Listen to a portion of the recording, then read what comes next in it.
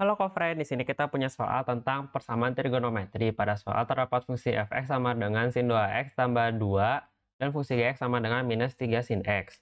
Lalu untuk interval 0 derajat lebih kecil sama dengan x lebih kecil sama dengan 360 derajat, titik potong kedua fungsi tersebut adalah, cara untuk mencari titik potong kedua fungsi tersebut adalah, kita menyamakan fungsi fx dan fungsi gx.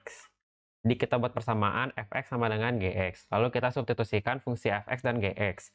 Menjadi sin kuadrat x ditambah 2 sama dengan minus 3 sin x. Selanjutnya minus 3 sin x kita pindah ke ruas kiri menjadi sin kuadrat x ditambah 3 sin x ditambah 2 sama dengan 0. Selanjutnya kita faktorkan menjadi sin x ditambah 2 dikali sin X ditambah 1 sama dengan 0.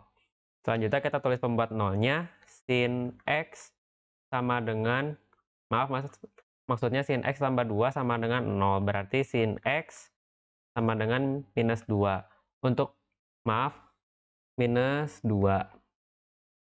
Untuk sin tidak ada yang nilainya me, hasilnya adalah minus 2. Maka untuk sin X sama dengan minus 2 tidak memenuhi syarat.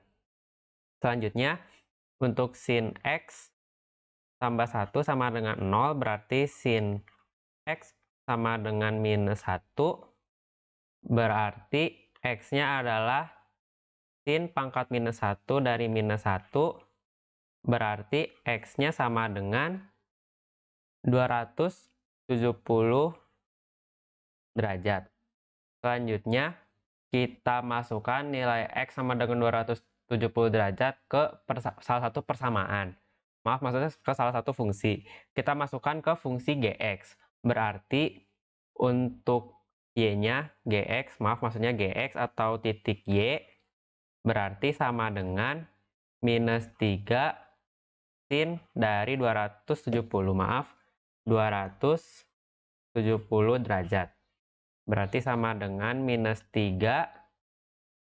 Untuk sudut relasi sin 270 derajat adalah jika sin 200 maaf 270 derajat dikurang 0 derajat hasilnya akan menjadi minus cos 0 derajat.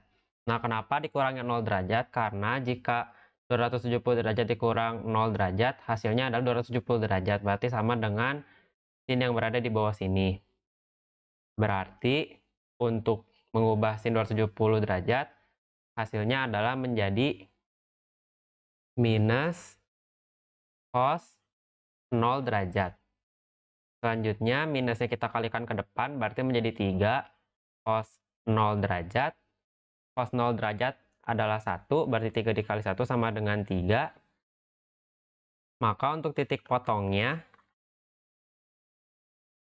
adalah 270 derajat, koma 3. Inilah titik potongnya. Sampai jumpa di soal berikutnya.